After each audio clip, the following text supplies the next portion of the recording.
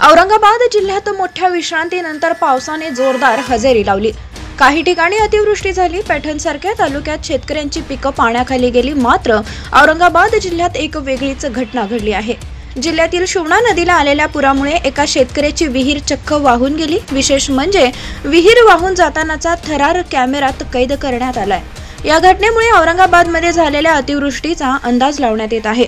शिवणा नदीच्या काठावर काळे यांचे शेत आहे. त्यांच्या शेतात एक विहीर होती. मात्र पुराच्या पाण्याने या विहिरीची नासधूस केली आहे. पूर्ण विहीरच पाण्यात वाहून गेली. विशेष म्हणजे विहीर वाहून जातानाचा संपूर्ण प्रकार मोबाईल कॅमेऱ्यात कैद झाला आहे.